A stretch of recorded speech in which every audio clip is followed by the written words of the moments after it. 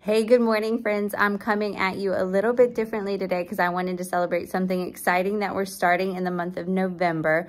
So every Wednesday at 5 p.m., I'm going to take sort of a snapshot of the schedule. If you are already signed up to serve for the following weekend, your name will be entered into a drawing and we will we will draw every Sunday morning, first and second service, and you will win a prize just for getting on the schedule and getting on the schedule early.